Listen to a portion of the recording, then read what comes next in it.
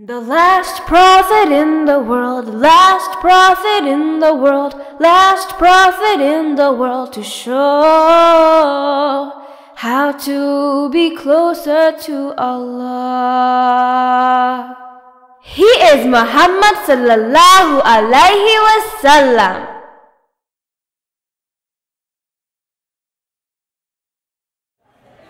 মুসলিমদের মদিনাতে একটি নিরাপদ জায়গা পাওয়াটি মক্কার খারাপ লোকেরা পছন্দ করেনি।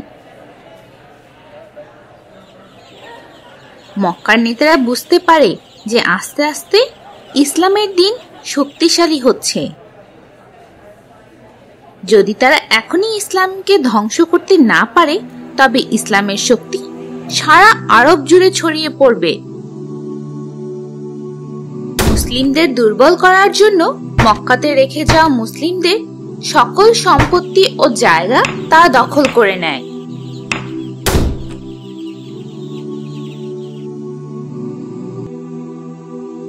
তারপর যে মুসলিমরা তখনও মক্কায় ছিল, কুরাইশরা তাদের গ্রেফতার করে এবং শাস্তি দেওয়ার পরিকল্পনা করে।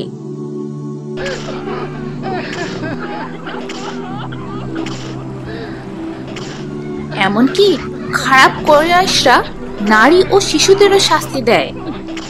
কোরাইশরা অন্য জায়গা থেকে সব যোগাযোগ করার উপায় বন্ধ করে দেয়, যাতে মদিনার মুসলিমরা মক্কাতে তাদের পরিবারের সাথে কোনো যোগাযোগ করতে না পারে। যেহেতু হজ করার জন্য সবাই মক্কাতে আসতো, তাই সারা আরবের লোকদের সাথে অনেক ভালো যোগাযোগ ছিল। তাই খারাপ কুরাইশরা তাদের এই যোগাযোগ ব্যবস্থা কাজে লাগায় এবং মদিনার আশেপাশের এলাকা থেকে সকল নেতাদের একত্রিত করে। খারাপ কুরাইশরা সেই নেতাদের মদিনার লোকদের সাথে কোনো ব্যবসা না করার জন্য রাজি করায়। এক সময় মদিনায় খাদ্য ও প্রয়োজনীয় জিনিসের অনেক অভাব দেখা দেয়। খারাপ কুরাইশরা মদিনাকে অর্থনৈতিকভাবে চাপ দিতে চেয়েছিল।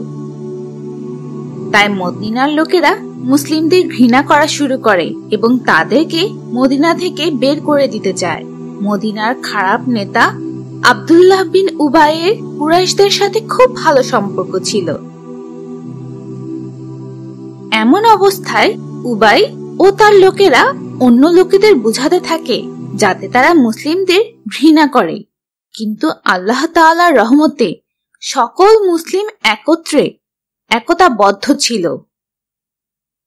তাই তাদের খারাপ পরিকল্পনা ব্যর্থ হয়ে যায়। যখন কুরাইশরা তাদের পরিকল্পনা কাজে লাগাতে পারেনি, তখন তারা অন্য একটি পরিকল্পনা করে। এবার তারা মদিনার লোকদের হুমকি দেয়। কুরাইশরা মদিনাতে একটি চিঠি পাঠায়, যাতে লেখা ছিল যে যদি তারা মুসলিমদের মদিনা থেকে বের করে না দেয়, তবে মক্কার লোকেরা তাদের উপর খুব রেগে যাবে। এমনকি তারা এটাও বলে যে মক্কার লোকেরা মদিনায় আসবে তাদের ধ্বংস করতে। এমনকি কুরাইশরা মদিনার শিশুদের মেরে ফেলতে চায় এবং ছেলে ও মেয়েদের তাদের দাস বানিয়ে রাখার হুমকি দেয়। মক্কা থেকে চিঠি পাওয়ার পর মদিনার লোকেরা খুব ভয় পেয়ে যায়, কারণ সেই সময় মক্কা আরবের সব থেকে শক্তিশালী রাজ্য ছিল এবং মদিনা ছিল খুবই দুর্বল। ইহুদি লোকেরা এই হুমকিকে তাদের সুবিধার জন্য ব্যবহার করার চেষ্টা করে। তারা বিভিন্ন বংশের মধ্যে যুদ্ধ শুরু করতে চায়। আগে তারা যেভাবে করত, আবদুল্লাহ বিন উবাই ছিল প্রথম লোক যে মদিনা থেকে মুসলিমদের বের করে দিতে চেয়েছিল। তাই ইতিমধ্যেই সে মুসলিমদের বিরুদ্ধে যুদ্ধ করার জন্য একটি শক্তিশালী দল তৈরি করে ফেলে। যখন পরিস্থিতি খুব খারাপ হয়ে যায়, তখন নবী মোহাম্মদ সাল্লাহ ওয়াসাল্লাম তাদেরকে একে অপরের সাথে যুদ্ধ না করার জন্য বুঝানোর চেষ্টা করেন। কারণ মদিনার প্রতিটি পরিবার থেকে কেউ না কেউ মুসলিম ছিল। যদি তারা মুসলিমদের সাথে যুদ্ধ করে তবে তাদের নিজেদের পরিবারের লোকদের সাথে যুদ্ধ করতে হবে। রাসুল্লাহ সাল্লাহ আলাইহি ওয়াসাল্লাম তাদেরকে বুঝানোর চেষ্টা করেন যে আল্লাহ তাদের সাথে আছেন, তাই মক্কার লোকেরা তাদের কোনো ক্ষতি করতে পারবে না।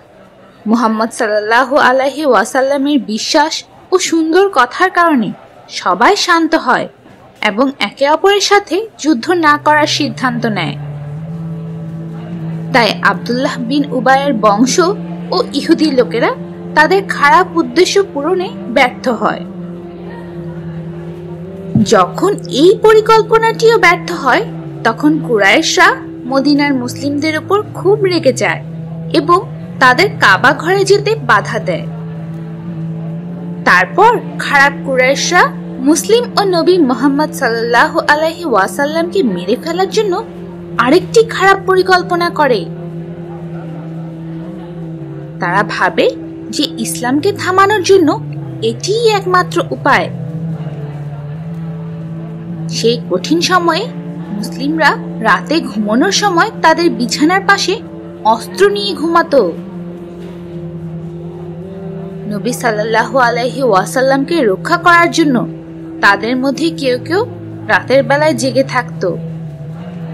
এমন অবস্থায় নবী মোহাম্মদ সাল্লাহ আলহি ওয়াসাল্লাম খুব চিন্তিত হয়ে পড়েন। তারপর আল্লাহ তালা সুরা মায়দার সাতষট্টি নম্বর আয়াতে সুসংবাদ পাঠান যে আল্লাহ তালা নবীকে সকল খারাপ লোকদের থেকে রক্ষা করবেন।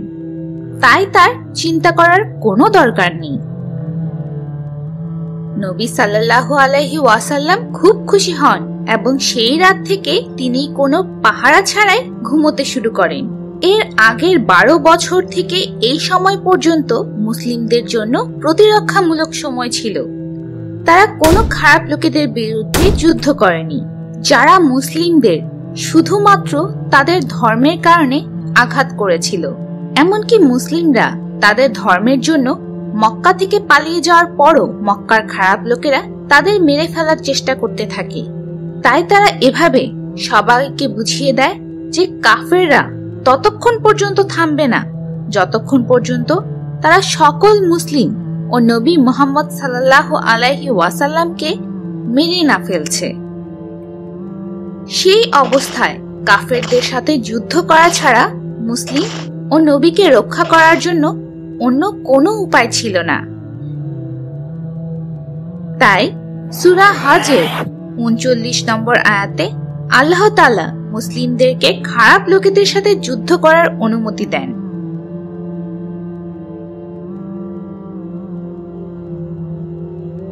এখানে মোহাম্মদ সাল্লাহ আলহি ওয়াসাল্লামের মূল চারটি লক্ষ্য ছিল।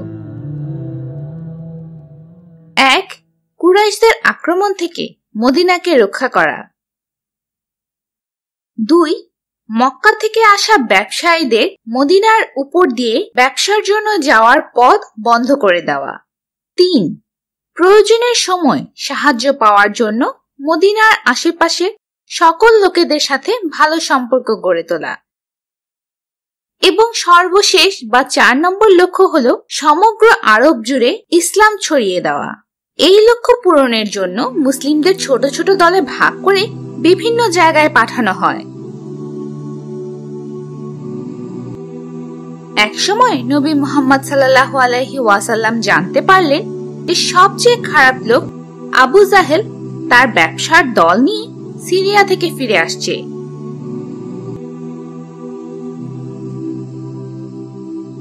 তাই তাদের সাথে যুদ্ধ করার জন্য নবী হজরত হামজা রাদে আল্লাহ আনহু এবং তিরিশ জন মুহাজিরিনকে মদিনার উত্তর পশ্চিমে লোহিত সাগরের দিকে পাঠান। নবী করিম সাল্লাল্লাহু আলাইহি ওয়াসাল্লাম আনসারদের বাদ দিয়ে শুধু মুহাজিরিনদের কেন পাঠালেন তোমরা তো জানো যে মুহাজিরিন হলো মক্কার মুসলিম এবং আনসার হলো মদিনার মুসলিম। বহু বছর ধরে কুরাইশরা মক্কার মুসলিম বা মুহাজিরিনদের কষ্ট দিয়েছিল। তাই প্রথমে কুরাইশদের সাথে যুদ্ধ করা মক্কার মুসলিমদের প্রধান দায়িত্ব ছিল। এই কারণে নবী করিম সাল্লাহ আলহি ওয়াসাল্লাম সেই যুদ্ধে কোনো আনসার বা মদিনার মুসলিমদের পাঠাননি। এটি ছশো তেষট্টি সালের রমজান মাসের প্রথম দিন। এবং নবী সাল্লাহ আলাইহি ওয়াসাল্লাম মক্কা থেকে যাওয়ার প্রায় ছয় মাস পরের ঘটনা ছিল। যখন তারা আবু জাহেল ও তার লোকেদের সামনাসামনি হয় তখন তারা সেই সব খারাপ লোকেদের সাথে যুদ্ধ করতে প্রস্তুত ছিল, যারা তাদের অনেক মুসলিম ভাই ও বোনকে মেরে ফেলেছিল এবং মক্কায় তাদের সকল সম্পত্তি কেড়ে নিয়েছিল। সেই অত্যন্ত কঠিন সময়ে একজন নেতা মাজদিব বিন আমার উভয় দলকে শান্ত করার চেষ্টা করে এবং একে অপরের সাথে যুদ্ধ না করার জন্য বলে। এটি ইসলামের ইতিহাসের প্রথম যুদ্ধ ছিল, যেখানে উভয় পক্ষ যুদ্ধ না করে ফিরে আসে। পরের মাসে নবী সাল্লাহ আলাইহি ওয়াসাল্লাম আবু উবায়দা ইবনে হারিত রাদে আল্লাহু আনহুয়ের সাথে আরেকটি দল পাঠান। এই দলে প্রায় ষাট জন মুহাজিরিন বা মক্কার মুসলিম ছিল। তারা দক্ষিণ পশ্চিমে আরেকজন শক্তিশালী কুরাইশ নেতা আবু সুফিয়ানের সাথে যুদ্ধ করার জন্য যেতে থাকে, যার সাথে তার ব্যবসায়িক সফরে প্রায় দুশো জন লোক ছিল। রাবিক শহরের কাছে এসে দুটি দল একে অন্যের মুখোমুখি হয়। তারা একে অপরের দিকে কিছু তীর নিক্ষেপ করার মাধ্যমে খুব ছোট একটি যুদ্ধ করে। এই যুদ্ধে আবু সুফিয়ানের দলের দুইজন মুসলিম দলের সাথে যোগ দেয় কারণ তারা এর আগেই মুসলিম হয়েছিল। তাই তারা অন্য মুসলিমদের সাথে যোগ দেওয়ার সুযোগের অপেক্ষায় ছিল। রাসূলুল্লাহ সাল্লাল্লাহু আলাইহি ওয়াসাল্লাম কি কোন দলের সাথে কুরাইশদের বিরুদ্ধে যুদ্ধ করতে গিয়েছিলেন? evil Quraysh? হ্যাঁ দ্বিতীয় হিজরির সফর মাসে মক্কা থেকে পালিয়ে যাওয়ার প্রায় এক বছর পর মোহাম্মদ সাল্লাল্লাহু আলাইহি ওয়াসাল্লাম সত্তর জন মুহাজিরিনকে নিয়ে কুরাইশদের সাথে যুদ্ধ করতে গিয়েছিলেন। তিনি আবুয়া শহর পর্যন্ত যান, যা মদিনার দক্ষিণ পশ্চিম দিকে প্রায় একশো ষাট মাইল দূরে ছিল। সেখানে যেতে প্রায় পনেরো দিন সময় লাগত। সেই যাত্রার সময় তিনি কোনো শত্রুকে খুঁজে পাননি। কিন্তু পথে তিনি একটি বংশের সাথে অনেক ভালো বন্ধুত্ব ও যোগাযোগ স্থাপন করেন এবং তাদের সমর্থন পান। পরের মাসে রাসুল্লাহ সাল্লাহ আলাইহি ওয়াসাল্লাম দুইশো জন মুসলিমদের নিয়ে বুয়াত শহরে যান।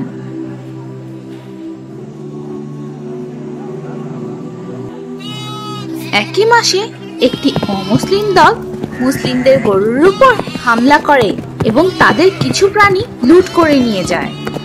যখনই মোহাম্মদ সাল্লাহ আলহি ওয়াসাল্লাম খবরটি জানতে পারেন, তিনি সত্তর জন মুহাজিরিনকে নিয়ে সেখানে যান এবং বদর পাহাড় পর্যন্ত সেই খারাপ লোকদের পেছনে পেছনে তাড়া করেন।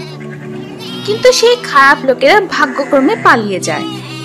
তোমরা ভেবে দেখলে বুঝতে পারবে যে মোহাম্মদ সাল্লাহ আলহি ওয়াসাল্লাম যেসব কাজ করেছিলেন, তা ছিল মুসলিমদের উপর কুরাইশদের অত্যাচার বন্ধ করার জন্য এবং তাদেরকে দেখানোর জন্য যে মুসলিমরা আর দুর্বল নয়। যদি খারাপ কুরাইশরা মুসলিমদের ক্ষতি করতে চায়, তবে মুসলিমরা যুদ্ধ করার জন্য প্রস্তুত। ইনশাআল্লাহ পরবর্তীতে আমরা জানব যে কীভাবে খারাপ লোকেরা মুসলিমদের সাথে প্রথম যুদ্ধ শুরু করে The prophet story.